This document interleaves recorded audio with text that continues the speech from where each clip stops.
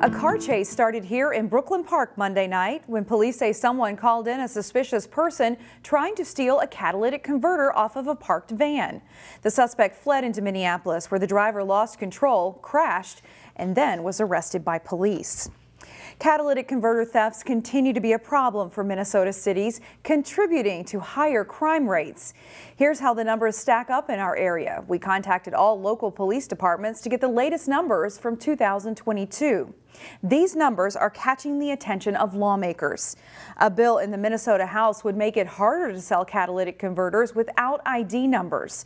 It would require more extensive documentation and training for dealers. One of the things that we never talk about is how much the um, cities who are taking, I mean, we just heard Coon Rapids, one report a day. This is a tremendous cost to each of our local communities. Opponents to the bill say scrap dealers are already highly regulated and should not face further penalties. Brooklyn Center is home to a unique and very important place called Crescent Cove. Crescent Cove is the only residential children's respite and hospice home in the state, and it opened in 2018. We sat down to learn what's next for the facility in today's Newsmakers with Manager of Communication and Engagement, Jenny Floria. Crescent Cove offers care and support to families of children who have short life expectancies and to the parents and their extended family who love them. Uh, we do this by providing respite care for families. So many times these are children who have complex medical conditions. Their parents are caring for them, providing advanced medical care to them 24 7. They can bring their child to Crescent Cove. We take over all of the medical care for them, and we also provide an amazing experience for them.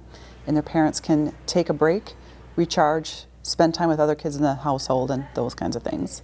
It's one of the few facilities like this in the entire country, so I would assume there is a demand for this care. There is a demand for this care, yes. There are only three children's hospice and respite homes in the United States. The other two are on the West Coast. So we are the only one in the Midwest, and we served more than 200 families in 2022 and more than 344 families over our lifetime as an organization. All right, you guys are looking to grow this next year. We are looking to grow. Uh, as you can imagine, the pandemic was challenging for us and for all nonprofits that serve families like the ones we serve. Um, and so we did not close our doors and we've been slowly growing to capacity after that. Our goal in 2022 was to serve four children per night and our goal for this coming year is to be able to serve five children per night, which brings us to capacity. All right. Uh, what else are you guys advocating for this next year? Yeah. You know, one big thing that we are advocating for this year is reimbursement for end of life care for children. Uh, I think people assume that because hospice care is covered by Medicaid and by health insurance for adults, that the same is true for children, and it actually isn't.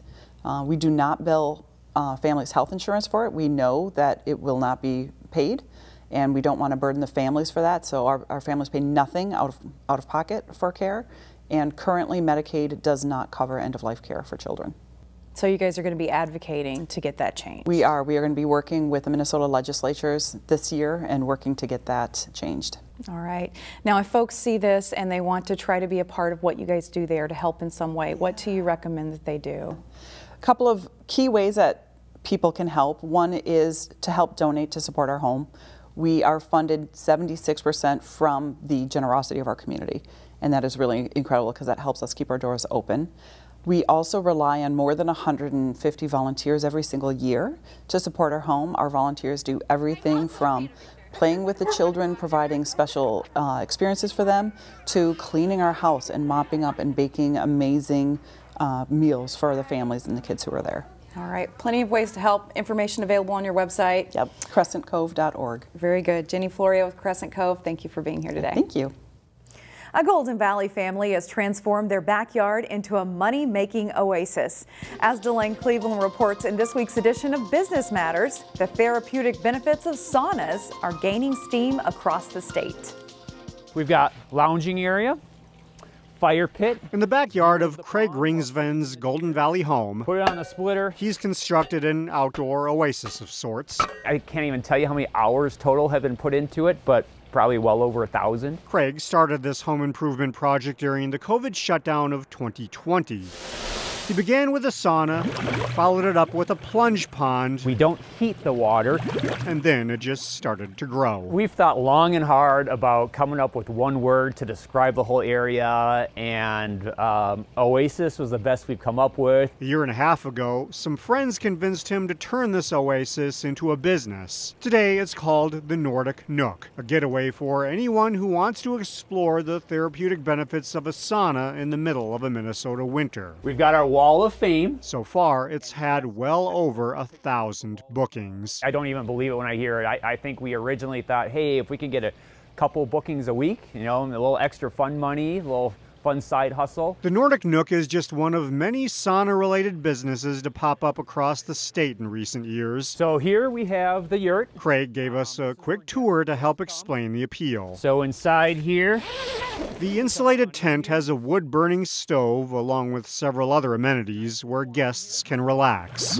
Outside of the yurt, there's a plunge pond where the water is kept around 39 degrees. He says a dip in the cold water helps with muscle soreness. we like to make your cold plunge as comfortable as possible.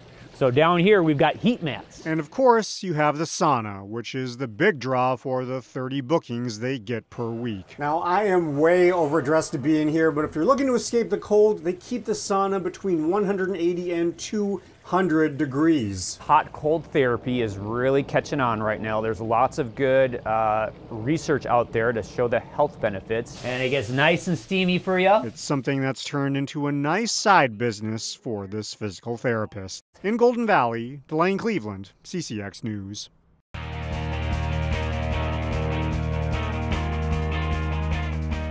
A Wayzata High School junior is part of the first family of Trojans Nordic skiing.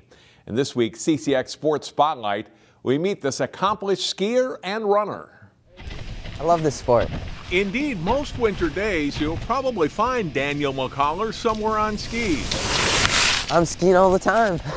Whether it's practicing or competing, a Wayzata High School junior has a passion for the sport. I've always loved skiing, and I've I've done it since I was probably that tall, and it's just always been something exciting to me, and it's something I love. He's had a tremendous season. He's been uh, top U18 a couple weekends at Junior Nationals, top uh, Lake Conference skier at a couple of our races as well. McCollor finished fourth at the state high school meet last winter. His Wayzata team placed third. It was a big highlight for the then high school sophomore. Ecstatic. It was it was a big day, and it, it certainly hurt, but it was very very fun for me, and very exciting to get the second place time too for the skate race. And I was not expecting that at all. The McCollor family is quite accomplished in this sport. Bib number one from Wayzata. Daniel's oldest sister Mara was a two time state high school champion and now skis at Dartmouth College in New Hampshire. Lauren McCollor, a 2021 Wayzata grad and a state meet qualifier in her day, now competes for Northern Michigan.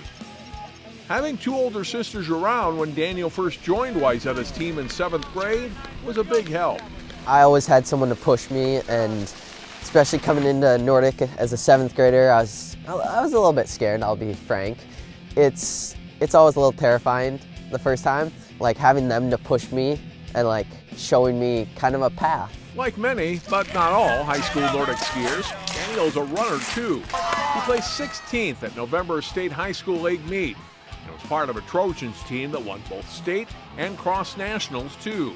That was a big deal to us because last year we did it and we want to do it next year. And I think as a cross country team, we moving forward, we are going to be really good. We love seeing the athletes that run cross country in the fall, ski in the winter, run track in the spring, and I think it definitely adds to the, uh, the resilience of the athletes, working those muscle groups and also building up great endurance over the winter, uh, fall, winter, and spring. Daniel's also a member of the Minneapolis Ski Club, often practicing twice a week and racing for MSC on the weekends.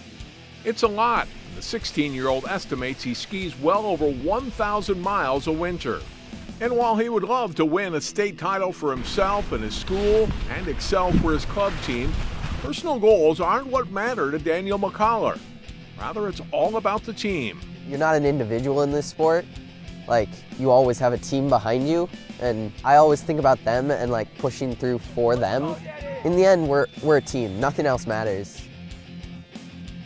McCollor and his Wayzata teammates will ski in the Lake Conference Championships Tuesday at Hyland Park Reserve in Bloomington and the following week at the Section 6 meet. The State Nordic meet is February 15th and 16th at Giants Ridge in Biwabik. Daniel isn't sure where he will go to college in two years, but says he plans to study environmental engineering.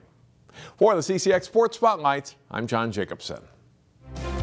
Find more prep sports games and highlights at ccxmedia.org and follow us on social media.